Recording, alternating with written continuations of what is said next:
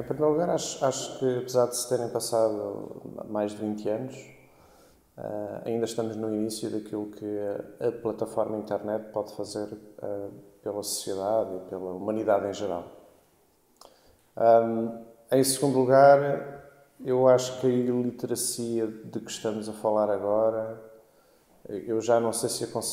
consideraria ser uma iliteracia digital. Eu, eu acho que acho que agora já estamos a falar de, de iliteracia como um todo e problemas relacionados com, enfim, países em desenvolvimento, sistemas de educação, a sociedade como um todo, os valores, etc. Não, não me parece que. Acho, acho que a fase da notoriedade à volta daquilo que a internet pode fazer por nós já passou e já, quer dizer, já, já, não tenho, já ninguém tem que convencer ninguém que a internet é, é, é um, veio para ficar, é uma revolução da nossa geração um, e tem muito para nos oferecer uh, nos próximos anos. Dito isto, um, eu também acho que estamos numa fase crítica neste momento, porque, como quase tudo o que nasceu num movimento mais ou menos underground cresceu e se massificou, como foi o caso da internet, nós agora estamos a, a viver desafios relacionados com a, massificação. E esses desafios têm muito que ver com o facto de que a internet uh, mudou uh,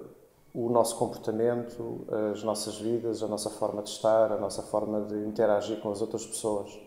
E, portanto, estão a vir ao de cima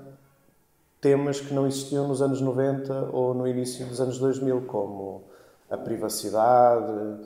a segurança, hum, a ética, a regulação.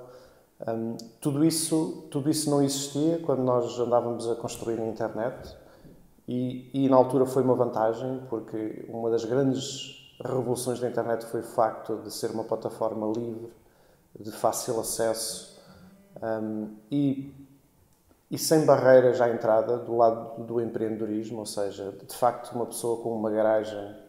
tempo e talento uh, conseguia inovar e conseguia montar um negócio e eventualmente fazê-lo crescer até ser, se quisermos o exemplo extremo, um Google ou um, um Facebook, um SAP.